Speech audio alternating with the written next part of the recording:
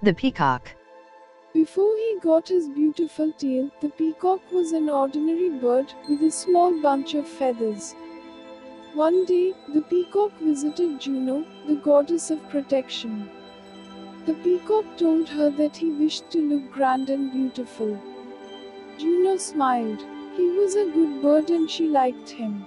The peacock then described the long train of brightly colored feathers that he wanted to trail behind him. He also wished to be the loveliest of all the birds. To his great joy, Juno agreed. What a wonderful tail he got! Blue and green with a jewel-like pattern, opening up like a fan when he raised it. Now the peacock decided to walk like a king. So he held his head high and walked with style.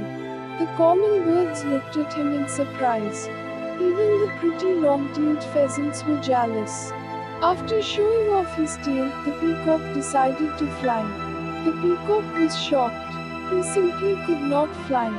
He could take a few flying steps, but nothing more. He sadly realized that he had lost a wonderful ability, simply because he had wanted to look good. Moral Think well before you choose what you want in life. Subscribe more stories.